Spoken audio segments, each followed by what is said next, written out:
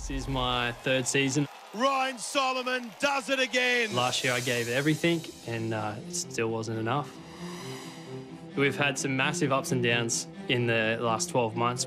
We started with our wedding almost right after Ninja finished last year and was the best days of our lives. We went on an amazing honeymoon after that. We found out Amy was pregnant, which was just amazing. And um, sadly, we, uh, we lost our little baby at eight, uh, 18 weeks.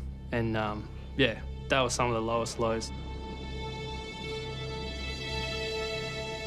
The sad news of losing our bub and, um, you know, Amy's still recovering physically, mentally. The toughest of tough things just brings us together, so it's um, it's nice. Oh, you made me cry.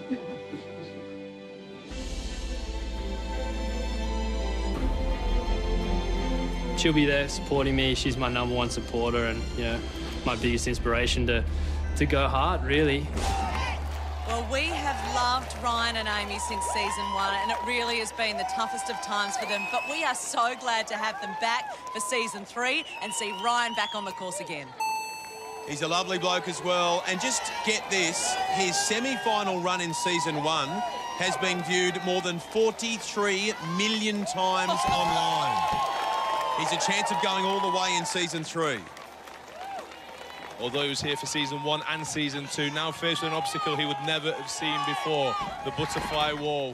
Oh, but he makes easy work of it, landing on the wall, taking a spin round, moving his body, moving his feet, getting his arms in a position to take on the rope.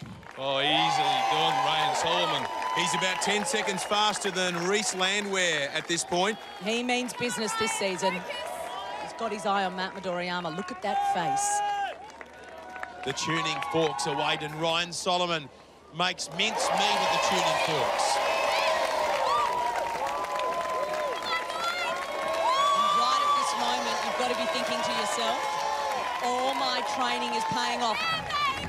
Look at him go on the rolling steel. That is perfection. Absolute perfection.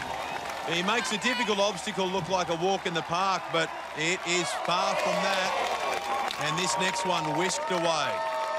It's a difficult obstacle. We've already had two ninjas come off this one tonight. Will Ryan Solomon be the first to crack it? Makes the lead onto the first handlebar. Oh, this is not good. He's a heavy guy. He's got to straighten up, straighten up quick. Yeah, he's lining himself up a little bit so he can make that lash lache. Oh, no! Rushed it! Oh, that is devastating for Ryan. Veteran Ryan Solomon out on whisked away. He's now at risk of missing the semis.